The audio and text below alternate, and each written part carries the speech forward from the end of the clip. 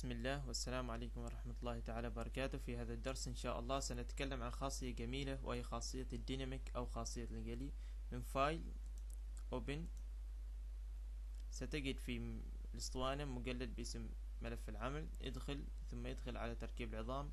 افتح خاصية الديناميك. في هذا المشروع قمنا برسم برتقالة وشعر لها. بإمكانك رسم أي شيء.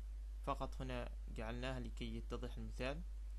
الآن كوننا نريد عمل خاصية ديناميك فخاصية ديناميك تعمل للعظام فلذلك يجب علينا رسم عظام نيو بون ادخل برتقالة وادخل الشعر اجعل الشعر في الأسفل.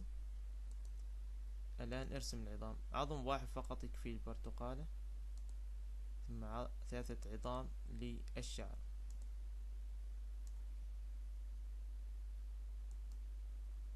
الآن نفعل خاصية dynamic اختر العظم الأول ثم هنا bone dynamic.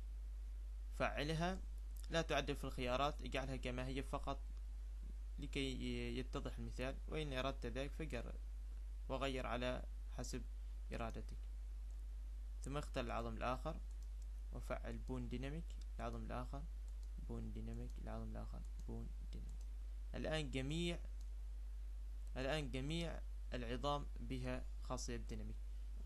نقرب نعمل حركة حركه إلى الخط 18 أحنيها قليلا.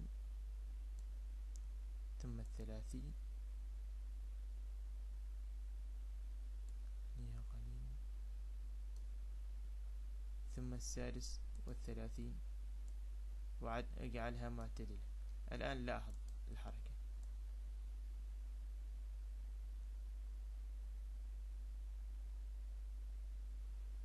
خاصية الجلي ظاهرة على البرتقالة وعلى الشعر ماذا إذا أردت فقط الخاصية على الشعر يعني تزيح الخاصية من البرتقالة وتبقيها فقط في الشعر بداية دعنا نجعلها غير مفعلة للعظم وكذلك للشعر لأننا سنرسم عظام جديدة للشعر. الآن اضغط على الشعر نيو بون وادخل الشعر فقط في هذا العظم لأن هذا العظم سيكون مختص بالشعر لا بالبرتقالة. ارسم عظام من أول وجديد فقط للشعر لا نريد تحريك البرتقالة. الآن فعل العظام فعل للعظام خاصية الديناميك. ديناميك.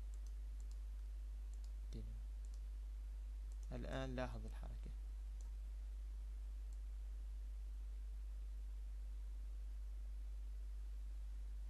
فقط للشعر. لاحظ خاصية الديناميك واضحة على الشعر. بهذا نكون قد انتهينا من شرح خاصية الديناميك وهي خاصية جميلة. أراكم في دروس قادمة. والسلام عليكم ورحمة الله تعالى وبركاته.